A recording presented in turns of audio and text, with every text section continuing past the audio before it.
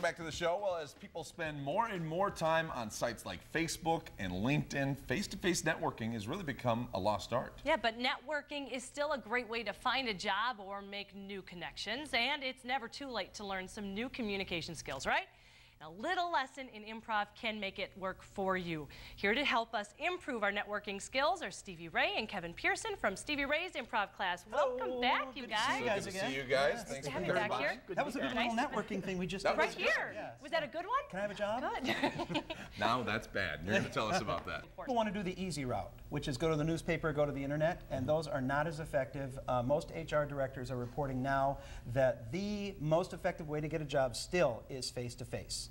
I would think so. Yeah. Well, Yeah. that's because uh, people decide what to do based on emotion and connection, and they justify their decision later with fact. So your qualifications don't mean anything unless I like you. Yeah, and they put a face to that and they feel exactly. like they know you. If they like you, they'll find a reason and an Yeah. excuse to hire you. But hopefully that face-to-face does lead to a good impression. Yes. Right. And what you're going to show us today are three common scenarios, Mm-hmm. and we're going to show you kind of the bad way to do it, and then what you Right. could do to, to improve that situation. So when you meet somebody, and we're not talking just about networking functions, which are very important, but if you meet somebody at a coffee shop or on the street or at a party, there's always some type of opportunity there. Uh, one thing that people do wrong is, especially nowadays because things are kind of desperate, people appear desperate. So they want, they want, they want. And if you come across really just wanting a job, then that's going to turn the other person off. So why don't we show that right now? Okay. Start with a greeting. Okay. Okay. uh, So do- we're going to have Kevin be a business owner of like a glass company. Okay. And Rob, you're going to meet him, and you're going to do it the wrong way, the first way, which is really needy and wanting a job no matter what. Okay? Got All it. right. Got it. So, okay. So come up. Hey, Hi, Kevin hey, Pearson, hey, Pearson John- Glass. John Nice Hanson. Oh, Pearson Glass. Yeah, of course. Nice to meet you. Oh Thank you. gosh, yeah, glass. I, that, that's kind of what I do. Is Oh, glass. really? Yeah, yeah. I put glass into houses. That kind of not working right now. You know the Oh. whole layoff thing, but uh, but absolutely looking to get back into Yeah, it. see and what really- he did right away is, is now you saw Kevin, and he was being really polite, going, oh, really? Oh, really? Good Minnesota guy. Yeah. He was, he was enjoying what I had to say. And he really wasn't. No. No. No, no, No. because it's all about you. And people are all about themselves. So you have to find out what they need and be the person that can help them with what they need. So get, get the person talking about themselves. There's an old sales thing. You can never talk anybody into anything, but you can listen them into it. So the more you let this guy talk, the more he'll like you. So why don't we show it again, where you just ask him, ask him, ask him all about himself. And, Okay. and we'll give it, we'll give okay. it another shot. And it do- really doesn't matter what I ask him. Just talk about him. Just Great. get him to talk. Hey, John Hanson here. Hey, Kevin Pearson, Pearson Glass. Oh, Pearson Glass. How's the business going? Uh, it's going pretty good. Even in these tough times, we're still making some good sales with some big projects that are going in with construction. Good, good. What, what kind of what kind of projects are you working on right now? Where are you working on different Oh, projects? in uptown, there's a new, yeah, in uptown, there's a whole new parking ramp going up, and Oh, all that glass is ours. We had a bid on that, and it's actually going really well. What we're needing right now probably is more sales-directed people to try to get our name out there more. Good. Well, hey, hey, you know, I, I'm kind of one of those people. I would Right like to talk to you about it Oh, sometime yeah. in the future. And That was great. Okay. So you still have to let them know what you want somewhere in there, but you work it in. you work it in.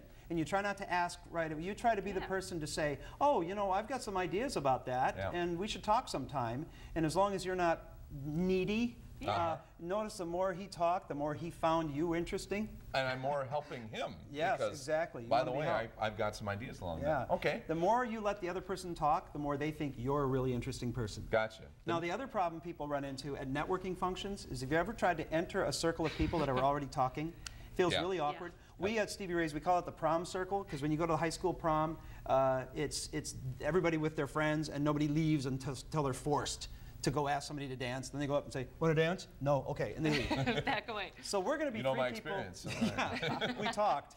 Um, and but I'm not slow dancing with you, so don't ask. Okay. Uh, so we're going to be three people already talking, and Okay. John, you're going to enter, Okay. and you're going to be kind of awkward about it. And Okay. so why don't we step up here and be the uh, be the people already talking? So we're just talking about the dance. Yeah. Great DJ up there. Oh, it's yeah. fun. Oh, yeah. All the Hammer best of the 70s, best of the 80s. Yeah, yeah, 70s, 80s. he was Great. funny. He was funny. Yeah. Oh, Oh, hi. Hey. hi. Hello, 70s. Yeah. so anyway. Anyways, I couldn't believe Yeah. Did you see him do the limbo? Unbelievable. Now he's in an ambulance. Hey. Yeah. Now you see the way. I want to see that again. That might work his way into so my that was not the way Well, to you do it. notice how you kind of entered weakly. You didn't. Yeah. You didn't announce yourself. You didn't introduce yourself. You just kind of sidled in a little See, bit. and I think a lot of people would think that's the way to do it. You see it happen so often. Yeah. And because we're uncomfortable, especially if there's really a lot of fun going on because we, we're not a part of it. Right. And so what you did was like, oh, ha, ha, ha. And that's like the kid on the playground you didn't want to play with. Yeah. And they tried to be a member. So you got to enter powerfully. Okay. You have to be confident. You can't be a bull in a china shop just rush in. Okay. You have to introduce yourself and make yourself part of the conversation because the most important thing is we don't want to have to do the work of supporting you. We You want wanna- you. Know that he can take care of himself and be part of us. Exactly. I think I Take can do care that. of yourself. Okay, ready? Now- then we're going to hire you. I'll take care of myself. All right, let's step So- out here and be the people. Hi. Hi. I just could not believe they didn't have any Prince, though. Could you believe No, that? no. I Hi. mean, Who's you're in Prince? Minnesota without oh, I gotta teach you. I'm sorry, Hey, Milwaukee. Hey, hey, guys, I'm sorry to interrupt. John Hanson. Hi. Yeah. John. Ah, good to see you guys. I heard you talking about Prince. Kevin. Oh, hi, Stevie Ray. I love Prince. I I'm learning about him. Fantastic. Are you really? I can tell Three great things he just did. Three great things. Sorry to interrupt, which means you're acknowledging that we're already here. You shook all of our hands right away and said your name, and then you related to something we were already talking about. Notice you were talking about Prince. We now can com- just relax and know that you are going to be a part of this easily, rather Right. than us having to support you. So I fit in if I talk Prince. Oh, anywhere you go. Always, Anywhere always you go. is the way. Talk Prince. Mention 'cause Prince. Minnesota, you know. Boy, right. it's kind of short, you know.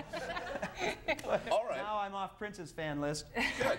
So, so Third thing is how to leave a conversation. And that's very important. A we've lot of all people been struggle with that. We've all been stuck Yeah. sitting talking to somebody forever, and now you see somebody across the room, and you really should talk to that person. But how do you get away from this person? Mm-hmm. Because So when you're networking, it's important to meet as many people as you can. absolutely. Yeah. And if you recognize that the person you're talking to is really not a good fit.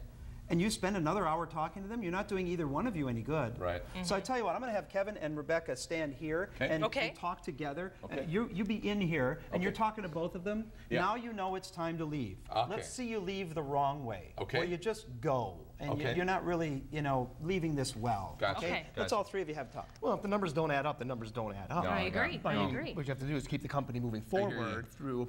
Guys, I'm, I'm looking to get going um, because, quite frankly, I don't think the numbers are very interesting, and neither are either of you. Ah, okay. So, That was kind of rude. Hey, wow. Well, what bye. about that guy? Wrong. Don't like him. That was a little obvious. now I know you might not like them, but now you can't be in Beck's show anymore. Uh, No, it's a solo show from now on. I'm the only. Co- I'm the only host. that would be wrong, though. Yes. But Now- abruptly leaving. that's Abruptly leaving of any kind is you don't give closure. Mm-hmm. You've got to say, it was really nice talking to you, uh, and you have to have the reason. A lot of people have tried, I've talked to, net, I've done networking workshops where people lie, and they say, oh, I have to run to the me- re- men's room. And or they something. come back. And they don't go to the men's room. They'll just go Ah. talk to somebody else. Bad. We know when you're and we lying. see them across the room. We're not hiding anything. like, hey, yeah. he's not peeing. and So, bottom line, we all need Because you closure. follow them, we need closure. Yes. that's, that's not even the men's room.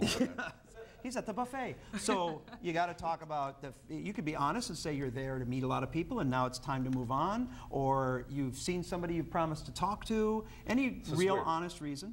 Honesty. Yes. Try Really? that sometime. Wow. You know. That's and strange uh, in a social setting. Tell them you'll see them again later. They know what you're there for is to network, so there's no secret to anybody. But give good closure before you leave. Let's I- see I that. think I can Should we do try that. it? Okay, great. Okay. So, So- what were you saying about the numbers again? Uh, the numbers just weren't adding up properly. But what I did is I went back and I recalibrated everything, and it seemed to come out just perfect. Hey, hey, But in hey, the guys, future, yeah. I'm, I'm sorry. I, you know what? I, I see some friends that I promised Oh. I would go say hi to. Of It has been great talking to you guys. I got to go go say hi to them, though. you. I appreciate the conversation. Hope to run into you again. I will, yeah, I would Yeah, love to talk back. to you some other time. What a great guy. I'm a phenomenal friend. I want to marry him. Boy, you're a good actress. You know?